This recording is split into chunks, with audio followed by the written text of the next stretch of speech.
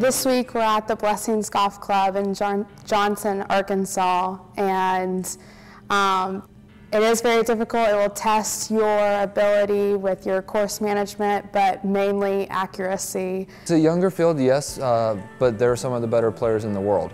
Uh, they'll they'll be challenged for sure. As I said, as we talked about with the golf course, it's going to challenge them in every aspect of their game.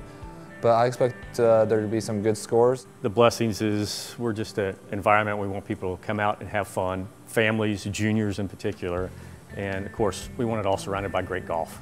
So that's what we're about. So partnering with a group like the AJGA and particularly you know Stacy Lewis, um, Arkansas graduate and a great supporter of junior golf and and blessings. Uh, it's just a, it's a perfect fit. Um, the mixed pairings this week with two boys and two girls playing together, um, I think really adds a learning opportunity for the juniors. Um, they get to, like I said before, know each other really well and test each other's games out, get to know each other's games. But it's a, it's a great idea and it's a, a cool idea to see actually happening um, and especially with the team competition where it's going to be there's going to be a, a, team rewarded for playing better.